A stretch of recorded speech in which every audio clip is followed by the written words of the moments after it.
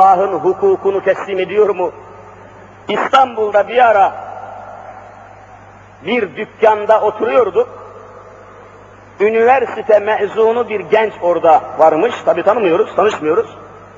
İslami konulardan sohbet ediyoruz.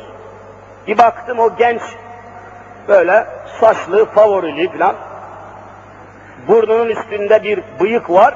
Aynen M harfi böyle. M harfine benziyor. Latince M harfi. Meğer o bıyığını M harfine benzetenler Çin komünist devletini kuran Mao'nun ismine benzetmek istiyorlar. Ne kafirlikler var bilmiyoruz ki. Özeniyor, dışarıya özeniyor.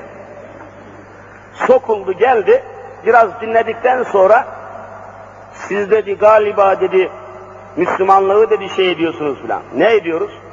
Müslümanlığı an. E peki tabii ya Müslümanlıktan başka bir şey var mı?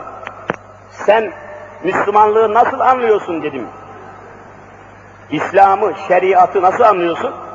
Efendim dedi benim dedi tespitime göre dedi İslamiyet dedi, şeriat dedi zenginlerin malını korumak için fakirlerin elini kesen çağ dışı bir batıl nizamdır dedi. Çağ dışı nizam diyor. Zenginlerin malını korumak için fakirlerin elini kesen aşağılık bir sistem diyor. Haşa. Kafaya öyle sokmuşlar. Yani zenginlerin elini kesiyor, e, fakirlerin elini kesiyormuş ki zenginlerin göbekleri şişsin, kasalar yok böyle şey. Tam tersine ezberletmişler. Anlattım. Kardeşim sen neden bahsediyorsun? Yani senin kafana soktuğun şu madde İslam'a en büyük iftira dedim. Allah'ın kitabına en büyük iftira. Allah'ın dini evvela zenginleri hesaba çeker. Gel bakayım bu kadar serveti, sermayeyi nereden buldun, nereye harcadın, hakkını, hukukunu yerine getirdin mi, zekatını verdin mi diye hesaba çeker.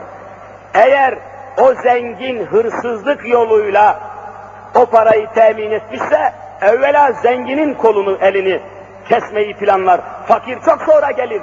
Hatta fakirle hiçbir alakası kalmaz. Anlattım, anlattım.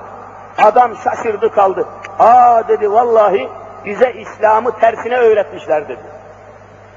Tersine öğretmişler. Ve sonunda tabii oradan çekti gitti bilmiyoruz ne oldu. Nesillerimizi böyle kandırmaya, zehirlemeye çalışıyorlar. Dini İslam'da yoksulluğu, fakirliği kaldıracaksınız ki ondan sonra ceza veresiniz. Hep böyledir. Hep böyledir. İnsanı suç işlemeye sürükleyen sebepler orta yerde dururken kimseye ceza veremezsiniz. Sebep ortada. Sebep ortada. E şimdi mesela zinanın önüne geçebilir misiniz? İnsanı zinaya sürükleyen sebepler hep ortada. Sırtına kadar soyunup dolaşan kadınlar caddede kalça kıvırıp gezdikçe gençleri zinaya sürüklemekte nasıl önleyeceksiniz?